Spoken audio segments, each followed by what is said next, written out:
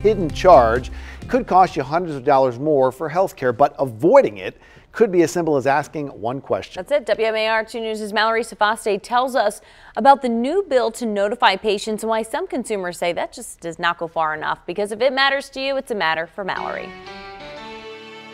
A buried charge in medical bills. They're, in essence, deceiving the public. We found that hospitals aren't telling them. Hidden uh, healthcare fee called a facility fee.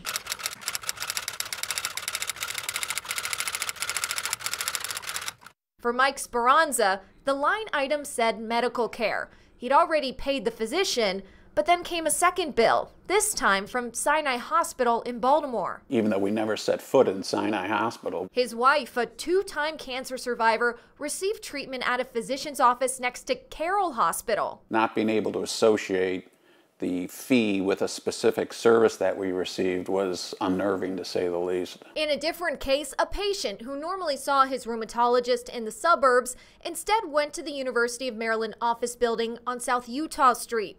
The appointment lasted around 15 minutes and consisted of a brief discussion.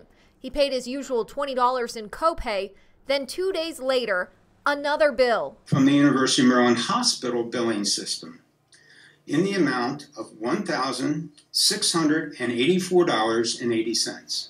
My copay was $166. For a facility fee, even though his appointment was blocks away from the main hospital. I went to an annual eye exam. That's it, an annual eye exam. Two months later, I receive a bill itemized as other diagnostic services for 1100 $41.33. We think what we were seeing was just the tip of the iceberg. Year after year, the Maryland Attorney General's Health Education and Advocacy Unit receives complaints from patients blindsided by these fees. How can hospitals justify charging patients this additional fee if they're not on the property of the hospital? You know, that's probably a question you should ask the hospitals. We've been asking it. I mean, it, it does seem unfair. The Maryland Hospital Association says they care for all patients, regardless of their ability to pay. And just like there's overhead at your regular doctor's office, they too need to be able to offer 24 7 care and specialists. The practice is legal and authorized by Maryland's Health Services Cost Review Commission.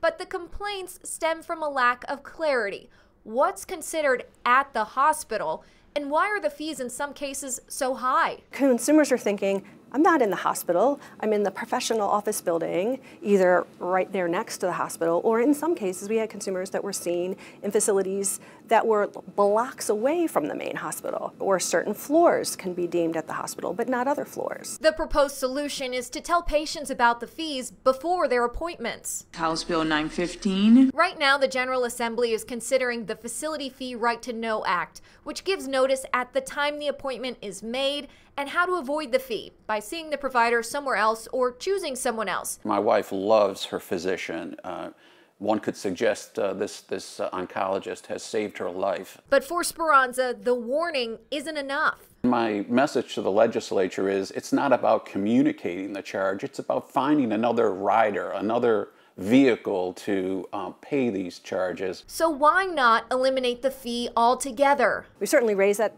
option with the General Assembly. Kimberly Cammarata with the AG's office said they presented that option in a Senate committee hearing in November. But after their Facility Right to Know Act bill died last year, their goal, at a minimum, is to require notice.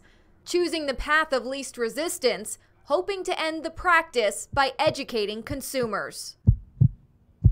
We reached out to the Maryland Hospital Association for an on-camera interview, but they were unavailable. Last week during a committee hearing, all parties said they were closer to compromising on amendments to get the bill through this year. In the meantime, if you're making an appointment anywhere near a hospital, ask, am I going to be charged a facility fee by the hospital? You also have the right to get a written estimate of hospital charges before receiving treatment. And the agency that regulates facility fees said they've also changed how much hospitals can charge for facility fees and have assembled a work group to review the practice in the future. We have more information on those charges and where to go to file a complaint about a medical bill on our website, WMAR2news.com slash matter for Mallory. And if you have a matter for Mallory, she wants to hear from you, email her at mallory at WMAR.com or find her on Facebook and Twitter.